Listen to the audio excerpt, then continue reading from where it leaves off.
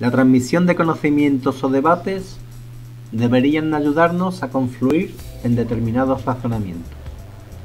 Y lo que puede iniciarse con rechazo e insulto puede acabar con asentimiento y elogio, por una u otra parte. Ejemplo de ello pueden ser dos científicos que deberían de llegar a las mismas conclusiones si estudian cuál sería la mejor fuente de energía de un país. Pero seríamos inocentes si no contempláramos la posibilidad de que haya individuos que aun estando de acuerdo con nuestro posicionamiento lo rechacen por distintas causas. Ejemplos de lo que quiero decir son los tertulianos TV, periodistas, políticos, economistas y un largo etc.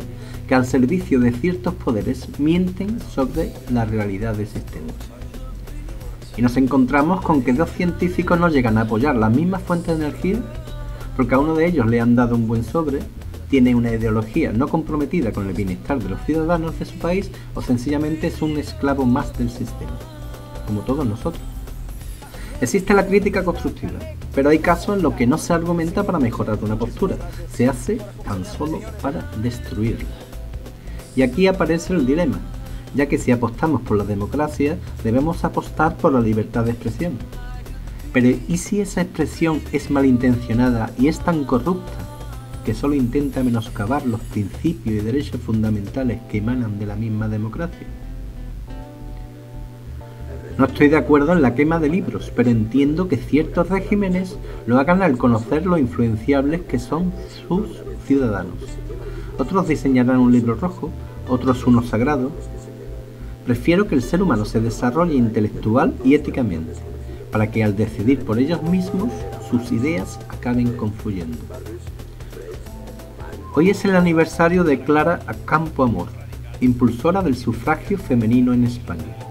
Frente a ella, Victoria Ken, que posicionándose incluso en contra de sus ideales mantuvo los pies en el suelo, sosteniendo que la mujer española no estaba preparada para votar responsablemente, ya que mal influenciada votaría en contra de sus propios intereses y el de sus hijos. Viendo las últimas elecciones españolas y europeas, debo dudar de la efectividad de la democracia.